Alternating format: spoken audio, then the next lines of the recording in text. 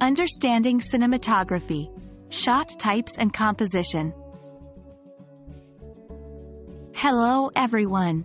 Welcome to today's lesson on English language learning through cultural understanding. Today, we're diving into the world of film, exploring the magic behind cinematography. Specifically, we'll discuss shot types and composition, essential elements that can shape the way we perceive a story. Ready to roll? Let's get started. Cinematography is the art and technique of capturing visual images for movies. It's the way filmmakers decide to present their story visually. But why is it important? Imagine watching a film with only one type of shot or a chaotic composition. It'd be hard to understand and quite boring, right? By using a mix of shots and thoughtful composition, filmmakers can guide our emotions and attention. Film shots can be categorized based on their angle, distance, and subject. Here are some common ones. 1. Wide shot. WS. This shot captures a broad view of the surroundings, often used to set the scene or show location. 2. Medium shot. MS a more focused shot than WS. It often features characters from the waist up and is common in dialogues. 3. Close-up. CU. This shot focuses on a single subject closely, capturing facial expressions or details. It emphasizes emotion or importance.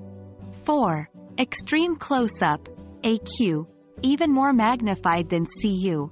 This shot highlights minute details, like an eye or a drop of water. 5. Over-the-shoulder shot.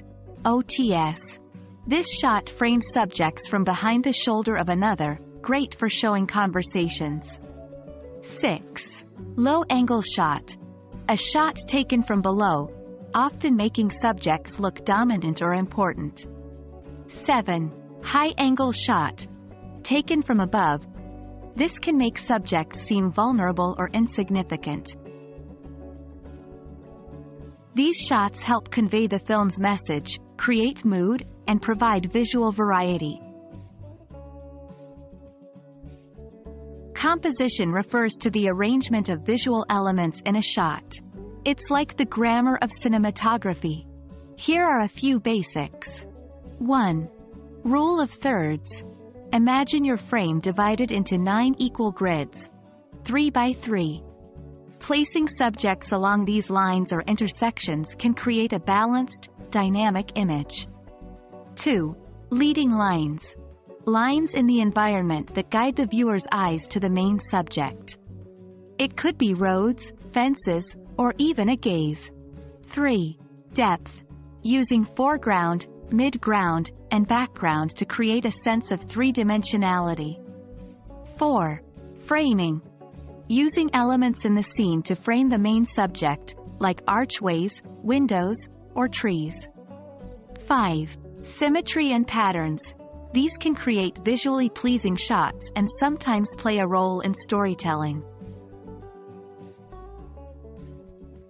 And that's a wrap for today. Cinematography is a visual language, and understanding its elements enriches our appreciation of films. Shot types and composition are foundational to this language. We hope this lesson helps you not only in your English learning journey but also in your exploration of the world of film. Until next time, keep watching and keep learning.